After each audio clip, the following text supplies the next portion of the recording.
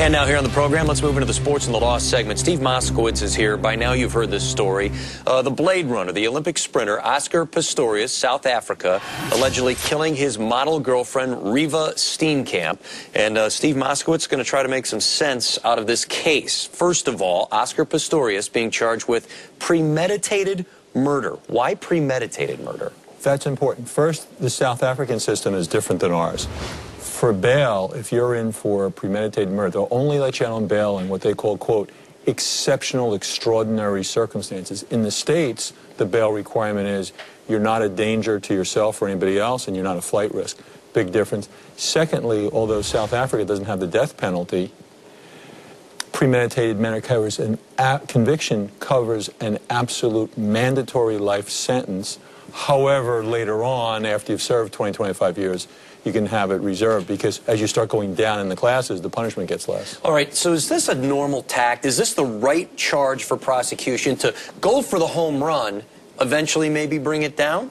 Normally, There's room for negotiation? Normally what prosecution does is they charge everything they possibly can. There's a whole bunch of charges.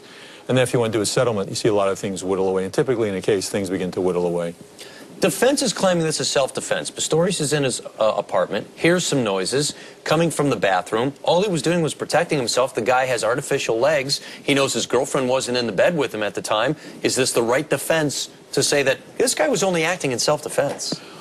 Well, that's what he's saying, but the problem is anybody that knows anything about a firearm knows you don't fire at something you can't see. And even if the bad guy was in the bathroom, you take cover, call the police, and even if the bad guy was there, he could have the girlfriend by the throat. You don't just fire through a door. That's really bad. And then he also used a cricket bat to somehow break into that bathroom area.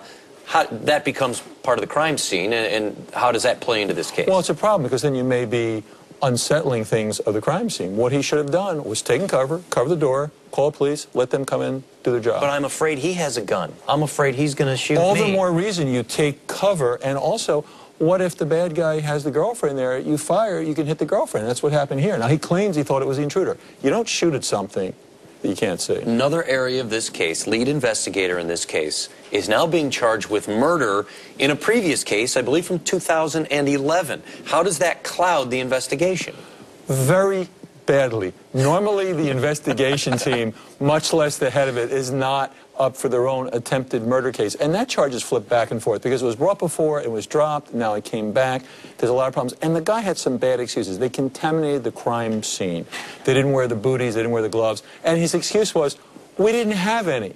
That is a horrible excuse because defense comes and say, wait a minute, you contaminated the crime scene. And chain of evidence, crime scene, that's a big deal in criminal defense. In a high-profile case like this, everyone will know who Oscar Pistorius is. I have less than a minute. Do you let him out on bail?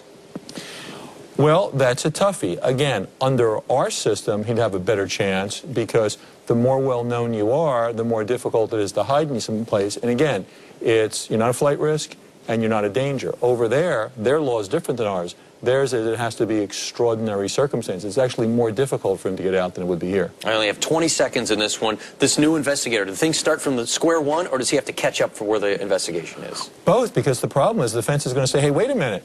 The investigators fouled up the crime scene. The evidence is no good. Evidence is no good. Case gets dismissed. Steve Moskowitz, he's the best attorney in town. He joins us every week right here. Chronicle Live Sportsnet Central is next.